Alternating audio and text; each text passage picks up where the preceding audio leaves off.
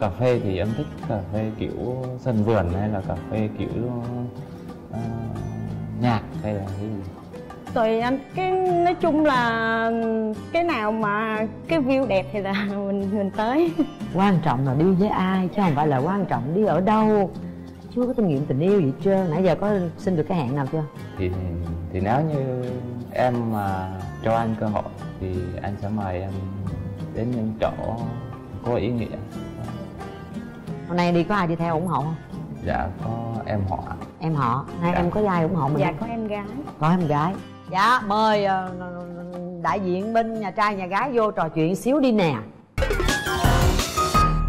Hello em. Xin chào chị. Hello chào chị. Cát. ờ bên đây trước. Em tên gì? Dạ em tên ba. Ba. Dạ. à, rồi chào anh. Bây giờ mình à, ổn định rồi ha.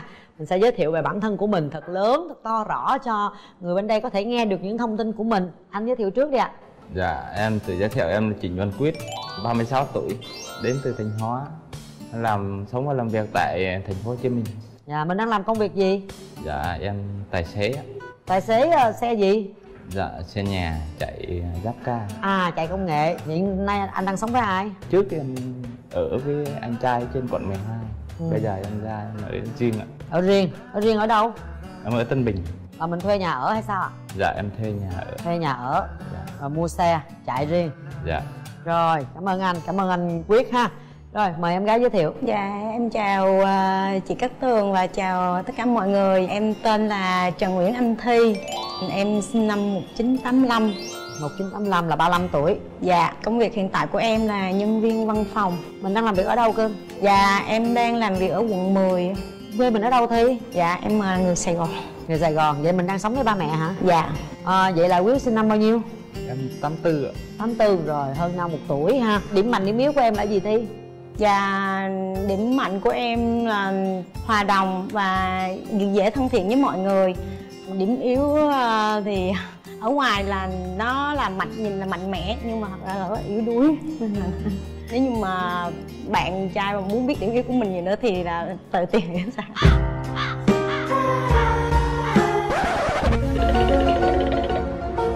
rồi. Thế còn à, anh quyết điểm mạnh điểm yếu của mình là gì? Em điểm mạnh thì là người à, thật thà chỉnh chu có trách nhiệm sống hòa đồng vui vẻ. Còn điểm yếu là ít nói có hút thuốc. Nhiều không? Ngày à, mấy gói? Hai ba ngày một gói. Ờ tưởng đâu gói hai, hai ba gói một ngày chết luôn à thôi bớt bớt lại nha cho nó mập mạp cho nó khỏe mạnh nha. Dạ dạ. Rồi tình trường sao? Có bao nhiêu mối tình rồi? Mối tình chính thức là em có một mối tình chính thức mối tình quen được bao lâu? Quen được 3 năm. Ba năm. Lâu chưa? Chia tay đây chắc cũng năm sáu năm. À và hồi cũng còn trẻ hồi mới tầm 30 thôi ha. Rồi lý do sao chia tay? Em không là thích bạn gái chanh chua quá. Chanh chua là sao? Ví dụ cụ thể. Có nghĩa là kiểu như giống sỉ nhục. À xéo sắc chì chiết người khác đó phải không? Dạ nó thể xảy ra điều đó thường xuyên không? Tại vì quen nhau Có. 3 năm thì cũng một thời gian dài. Có thường xuyên. Có trao đổi với nhau là anh không muốn như vậy anh không thích như vậy không? Em cũng nói nhưng mà họ không thay đổi. Rồi cuối cùng ai là người quyết định chia tay? Dạ em là người quyết định chia tay. Rồi cổ đồng ý. Rồi sao mấy năm nay năm sáu năm nay không quen được người nào khác không tìm được người nào khác? Thì em cũng đi, đi làm với bận công việc quá có đi chơi nhưng mà quen cũng với tính chất bạn bè. Chứ À, mình nhát quá. ví dụ mình gặp đúng cái người mà mình mong muốn mình thích thì mình có quyết liệt không? Cũng có nhưng mà nhiều khi cũng có sẽ thấy yếu yếu xìu trời có thấy yếu yếu xìu trời. Có mạnh mẽ trong tình yêu không? Cũng có nhưng mà em cũng có nhưng mà có khi là người ta không thích mình. Trời ơi mình không tấn công ta sao mình biết ta không thích mình. Nói chung mình là đàn ông thì mình phải chủ động chứ. Bây giờ có tuổi rồi giờ muốn lấy vợ chưa? Dạ muốn. Muốn thì phải mạnh mẽ hơn nhanh nhanh hơn một chút. Em à, trước đám đông hơi dừng. Đó thấy không? Vậy là mình cũng thiệt thòi hơn người khác rồi. Có ông nào nó địa bạn gái mình là nó là nó trước mình rồi. Dạ. Bên đây tình trường sao cưng? Em có hai mối tình. Có lẽ theo em nghĩ là chắc là không sâu đậm Nên ờ, nó ra đi nó cũng ờ, nhẹ nhàng. Dạ. Mối tình kéo dài được bao lâu cưng? Kéo dài khoảng ờ, hai ba năm ừ. bây giờ em mong muốn tìm một người vợ như thế nào? Vợ thì à, cũng ngoan hiền Ngoan hiền. cũng biết quan tâm đến gia đình. Ông không dám nhìn mặt tôi luôn á trời ông nhìn ở đâu không nhìn vô mắt tôi coi. Sao? Tôi đâu có ăn thịt ăn cá gì đâu. Chị tường chanh chua lắm. Ha lấy người nào mà hiền thiệt hiền. Cô này cô hiền nè. Thì em cũng gì mà ngồi bấu tay bấu chân hoài vậy không biết nữa có tiêu chuẩn gì không? Cao thấp mập ốm phong cách ăn mặc cao tóc cao tai. một mét năm mươi trở lên là được. Rồi. Cứ vừa người được không có mập lắm không có gương có tiêu chuẩn gì không gương bạn nam là cao ờ, một m sáu trở lên. Cái thứ hai nữa là bạn nam là không hút thuốc. Nhậu nhẹt thì là biết uống thôi chứ đừng có lầy. Biết trên biết dưới và hiếu thảo với lại à, cha mẹ đồng đều hai bên. Đúng rồi có hình không cưng dạ có. Đâu cho chị tường coi có hình không cưng? Dạ có. Rồi to ha tôi thoái hình nè, mắt tôi yếu lắm đưa mấy cái hình bự bự vô tôi chịu nè. Rồi tôi nhìn vậy mà tôi còn chưa biết đâu là cổ nữa.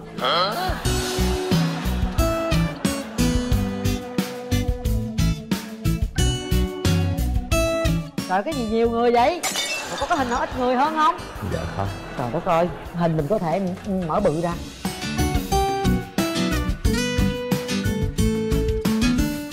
Ờ mình có thể đúng rồi, ờ, mình có thể mở ra vậy đó. Rồi mình coi coi có vài người đàn ông trong đó thôi. Đó. Chứ còn có cái anh nào chẳng có mình ổng mà ông đưa tấm hình đông Có mình mặt ông rõ còn như chụp mờ ao hết. Như đàn bà với con gái không, như là con nít không. Có một người một à. Cô nào? Chà, ở đây cũng nhiều cô thấp thấp quá ha. Mấy cô cao loại đi. Cô không có cao. Rồi, cô nào? em nghĩ chắc là người này hoặc chỉ có hai hai người này người này Nào? hoặc người này chắc người này Người này hả? người này đó hả? Rồi, giữ đi, tôi biết gu ông rồi không phải không phải em đoán thì không phải gu À, không phải gu luôn hả? Đoán thôi hả? Vâng. Rồi Mời hai Đoán. bạn vào cửa trái tim để xem Mình đã lựa chọn như thế nào nhé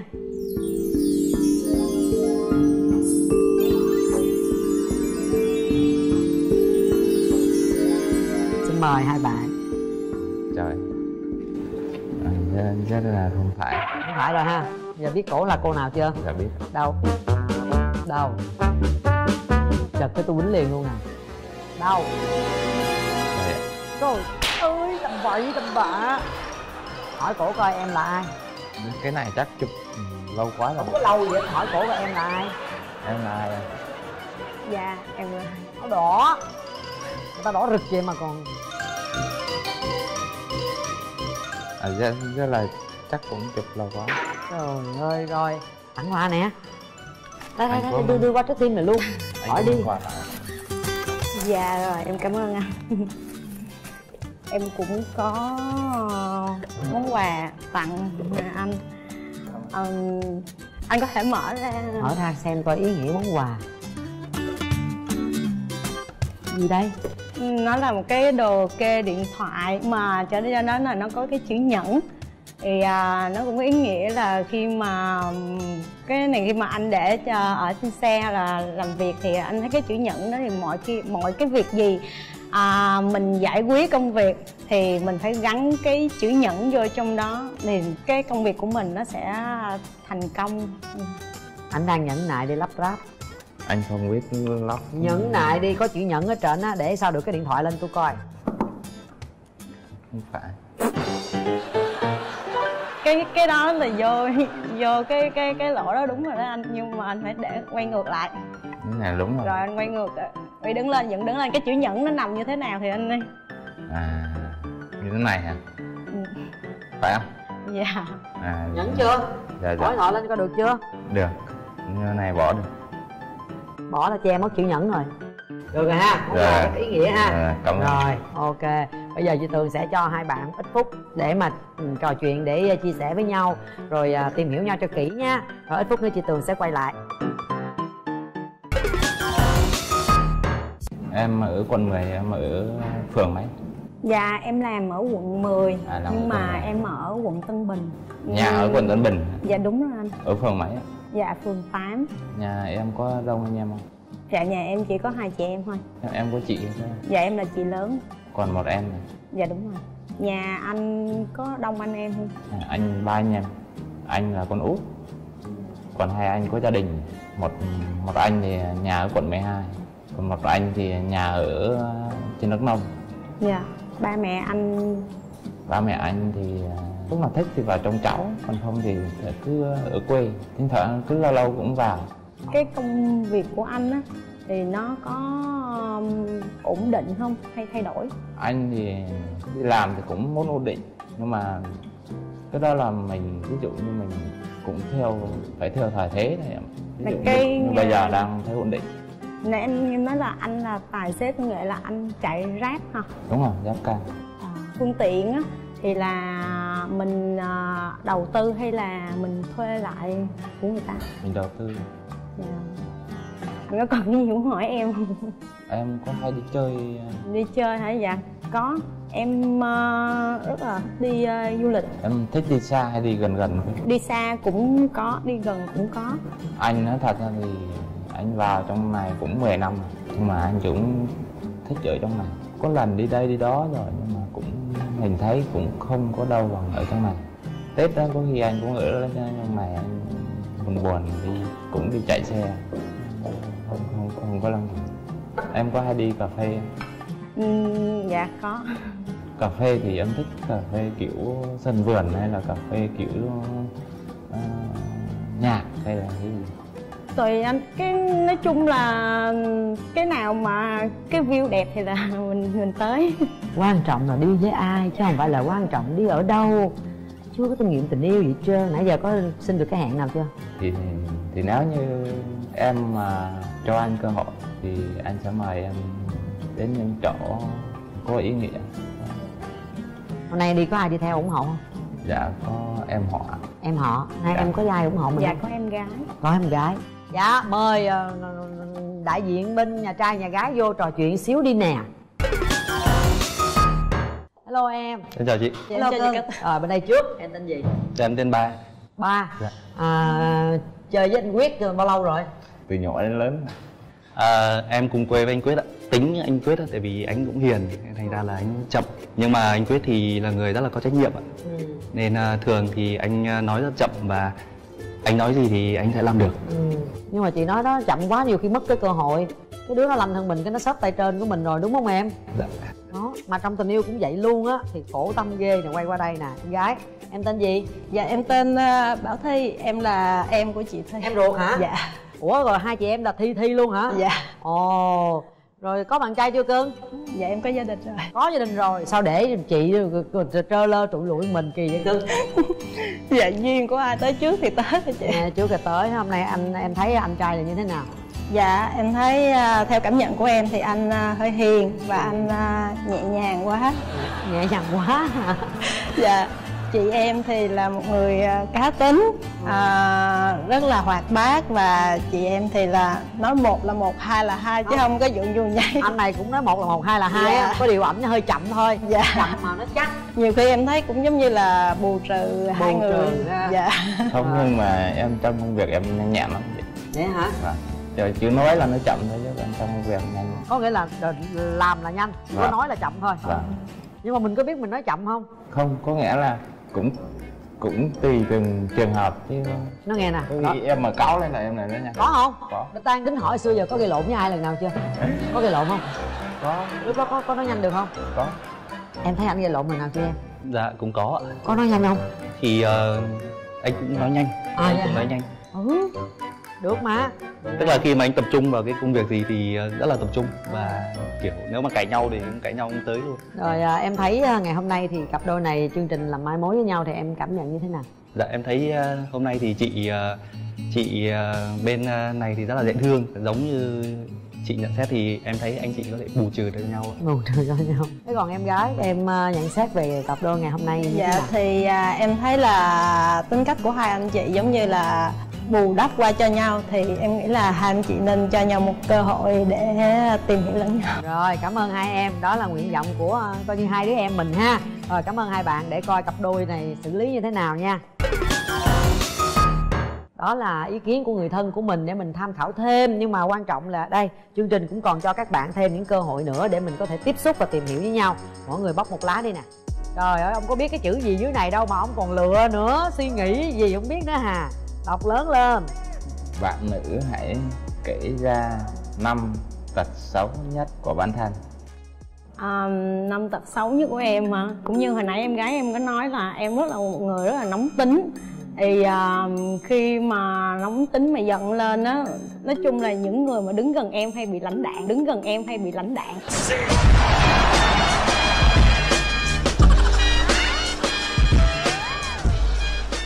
em la luôn cả những người mà không liên quan đến công việc À. này nhiều khi là giận cá chém thớt đó ha. Rồi cái gì nữa? Còn à, bốn cái nữa em không biết là cái gì nữa. Ăn uống đi đứng à thói quen gì đó. Có những cái gì mà mình cảm thấy mình cái đó gọi là tật xấu của mình không? Với là cái tật của em hay lau bầu. Có nghĩa là ừm, khi mà em dọn dẹp cái gì đó thấy mà cái người đó ở không là em bắt làm luôn với em.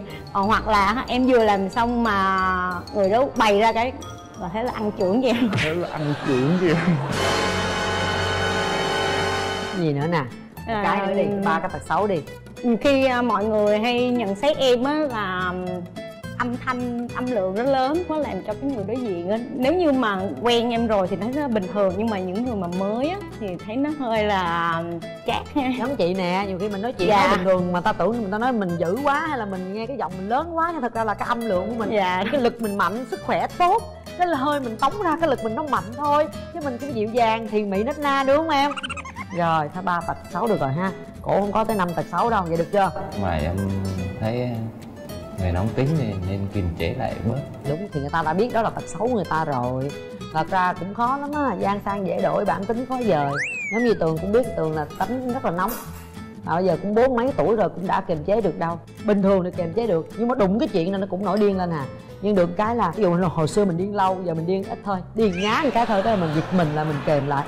Có nghĩa là mình biết được cái nhược điểm của mình, thì mình sẽ kềm chế nó lại bớt, thì từ từ nó cũng giảm được phần nào. Chứ biểu mà bỏ luôn, mà từ từ nóng giận mà thiền nó là một cái quá trình nhiều khi cả cuộc đời.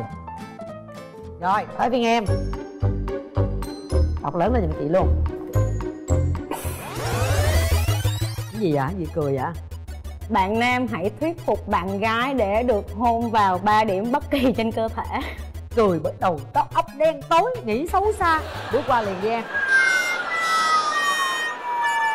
nói thì chậm mà làm rất nhanh. Hồi nãy anh em trai kia nó giới thiệu. Đứng đây đứng đây. Bây giờ em đứng lên đi. Bây giờ nhìn bạn gái đi. Thỏa thuận đi.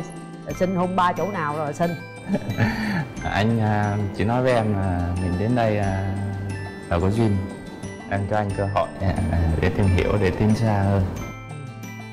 Anh em em cho phép anh à, hôn lên trán một một.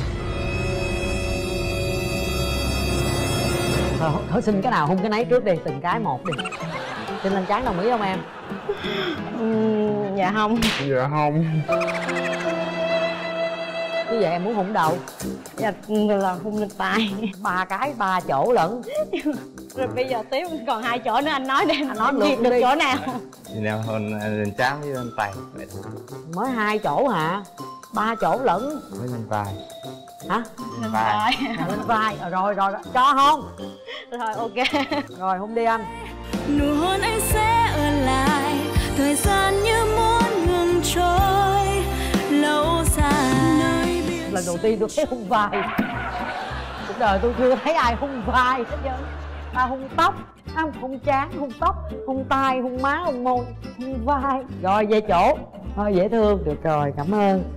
Giờ nói đùa thôi. Hung rồi, bây giờ ngồi vào đây ha. Hai bạn nhìn nhau. Bây giờ chị chỉ cần chỉ cần mỗi người nói một câu thôi.